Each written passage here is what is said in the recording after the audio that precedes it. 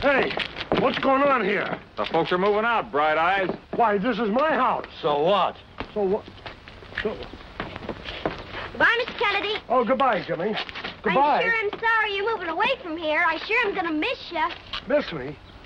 Oh, Mr. Kennedy, I heard my daddy say that he thought you were getting a raw deal and that he'd be a witness if you wanted him. Good luck. Mr. Kennedy.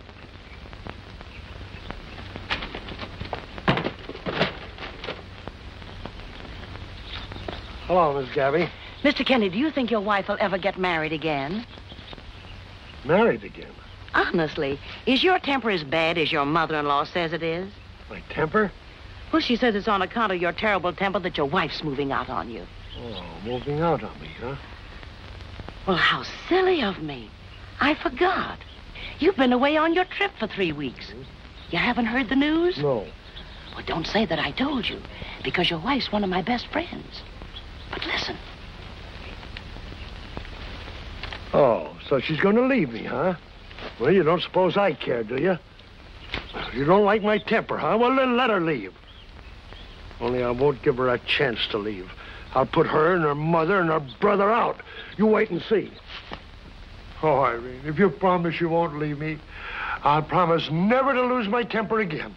Well, Edgar, you sound very sincere. So I'm going to give you one more chance. Oh, honey. Oh, now, but you've got to promise. Now, cross your heart. Cross my heart, see? No, Edgar. Oh, Edgar, it's wonderful. Oh, look, sweetheart, we can start all over again, just like we were before. Oh, Edgar, it will be wonderful to start all over again, won't it? yes, it certainly will. Oh, oh, Mother! Brother! Mother! What is it? Edgar and I are going to start all over again, and he's promised never to lose his temper. Isn't it wonderful? Well, you must be out of your mind. Well, how can you take that bully back when only three weeks ago he almost broke Brother's jaw? Yeah. Now, Mother, there's always two sides to a story. I've heard Edgar's, and my mind is made up. Now, if you and Brother don't like it, why, you have to be the ones to move. Oh, You tell him. Tell them? Tell them what? Oh, uh, what, uh, just tell them how we're going to live happily together. Ah, Yeah. Oh, yes, of course. But nevertheless, Edgar, remember, if you lose your temper just once, Oh, I won't. I promise I'll never lose it again. Well, I guess I'll go out and help those fellows bring the rest of the stuff in. all right. Say, brother, hmm. do you think that you could stand another sock in the jaw? yeah. What do you mean? Well, listen, this is the idea. You get Edgar good and mad, he loses his temper, and sock you in the jaw. Then Irene will leave him, and we'll be set for life. Oh, gee, Ma, my, my jaw's sore from that last wallop. Why don't you take the sock this time? Why, brother, would you ask your poor old mother to do that? Well, uh, well- Oh, now listen. But I don't want you to take the stuff out. Oh, you don't, huh? No, I want you to move it right back in again. Listen, brother. We were hired to move it out. If you want to move it in, hire yourself another crew. Oh, but wait a minute. Hey, hey, hey, my vase. Give me my vase. Here, catch. Oh, oh, oh.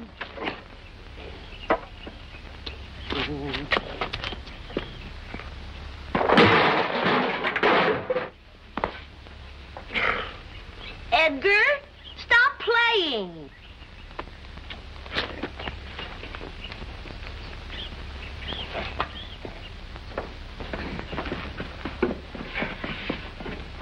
Well, Ed, are you going to apologize? After all, I want to be friends with you. Friends. Sure. Okay, brother. I apologize. I won't accept your apology. See? Oh, Edgar! Where are you going? oh, that's right. I guess I didn't take it upstairs. I left it in the living room. Left what in the living room, Edgar? Oh, uh, a little surprise. A surprise. you brought me a present. Oh, just a little thing. Oh, Edgar. and just when I was going to leave you, too. Aren't women the heartless things? Ah, come on. Here it is. What is it? No, no, don't tell me. I want to guess. no, I can't guess. What is it, Edgar? Well, got two hands and a face. And can't eat. Two hands and a face and it can't eat. Uh, I know, a stuffed swordfish. Swordfish. We'll put it on the mantle. Oh, Edgar, another clock. Every time you come home, you bring a clock. Edgar, we've got six already. Yes, honey, but this one works. Uh, well, put it on the mantle. You know, you better hurry and bring in the rest of that furniture. We've got an awful lot to do around here.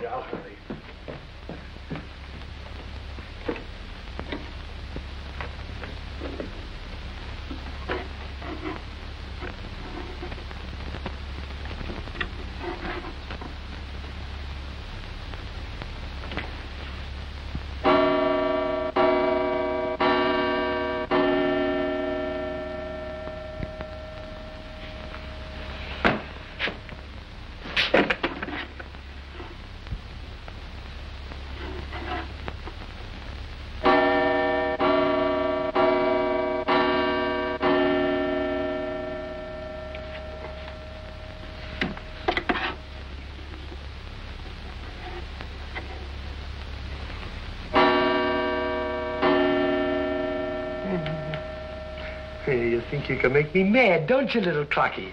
Well, nothing can make me mad, not even you.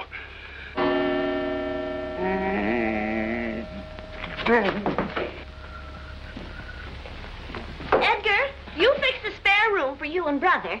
Mother can sleep with me. Oh, Here now. There you are. You take them upstairs. Now be careful. Hey, Ma, get down a minute. I've got an idea. One more. There you are.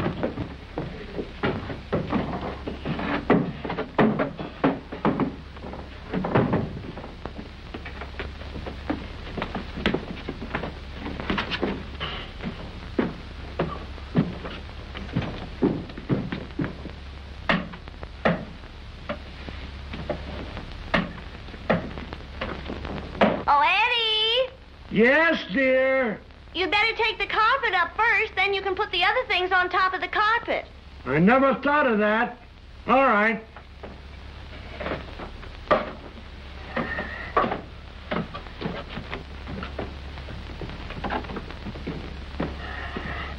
Oh, don't feel so badly, brother. You'll get a better idea. Just concentrate. Oh, oh, now, Edgar, you shouldn't have brought the pillows and blankets downstairs. You should have left them up. Now you'll just have to take them upstairs again. Oh, Edgar. Here, now, take them right back up. Come on. That's a good boy. Look, Ma, once a sap, always a sap. There you are. Now be careful. Whatever you do, be careful.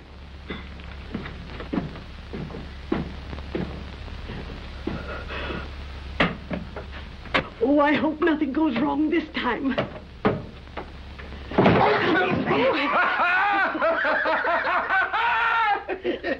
How do you like that, sap?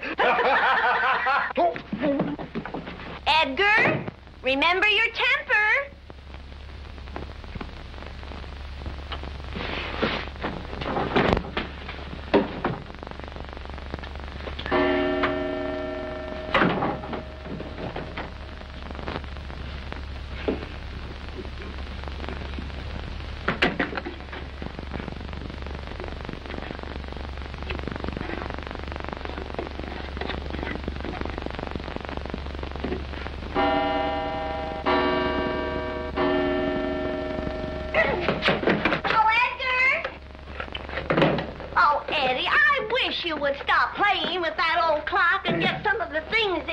Yes, dear. Right away. I'll. I'll be right.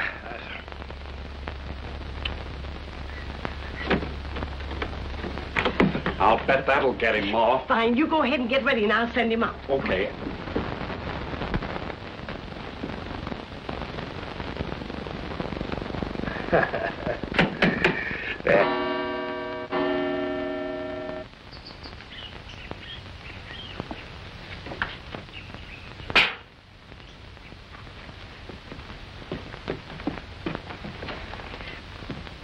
Looks like rain. You better bring in Henry VIII.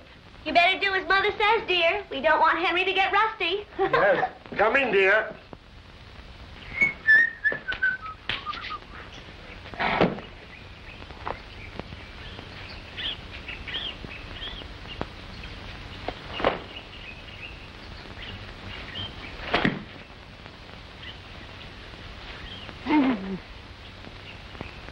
Edgar, remember your temper, dear.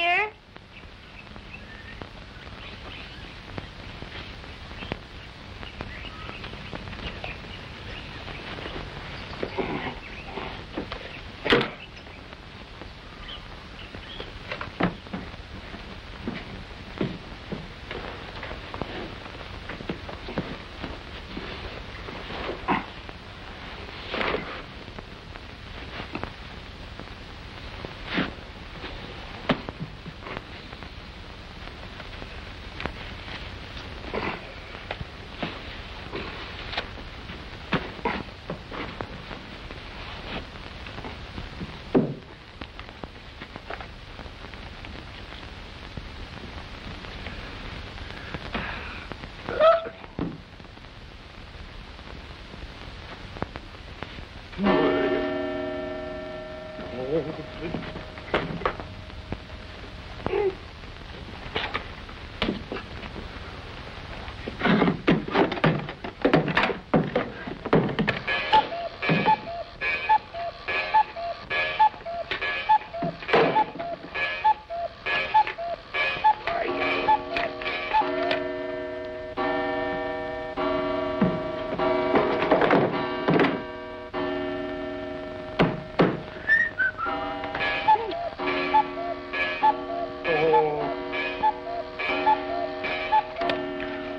why did I ever make that promise? Oh, uh, Edgar, don't you think it would be nice if you apologized to Brother?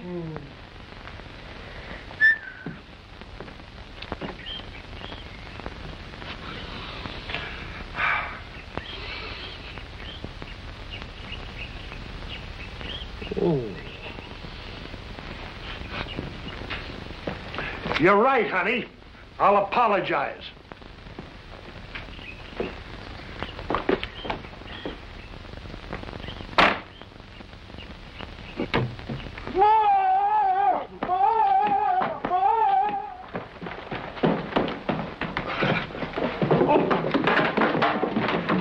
Won't be long now, Ma. Give me that.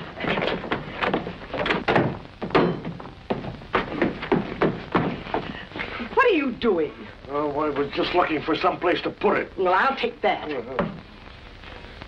Uh, Mother, I want to tell you how glad I am that from now on you and Brother and I are going to get along happily. Well, of course, it's all right with me, Edgar, but uh, I don't know about Brother. Don't know. Only this morning he said he didn't see how he ever again could live in the same house with a cankerous old palooka like you. Sticks and stones may break my bones, but names will never hurt me. You're not going to make me lose my temper.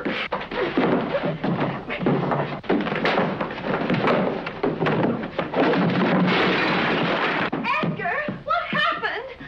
Are you hurt? No, everything's all right. Oh, you broke the vase. Yeah. Oh, that's wonderful. Wonderful. Oh, yes, don't you see? If you can break an expensive vase like this and not lose your temper, then nothing can make you lose it. Look, Irene, in spite of everything, I haven't lost my temper. No.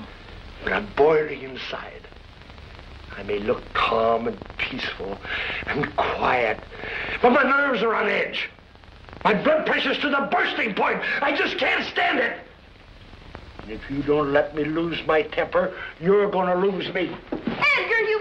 Edgar, you can't leave me. Oh, I'm leaving. Oh, Edgar, if you think it'll make you feel better to lose your temper, I'll let you do it just once. You mean it? Mm-hmm. And you won't hold it against me no matter how mad I get? No, not just this once. Oh, fine. Oh, Mother. Uh, Mother, where is Brother? Oh, he's upstairs. Uh, well, Mother, if you say that Brother's upstairs, well, then Brother must be in this room. Why, Edgar! Oh, Brother!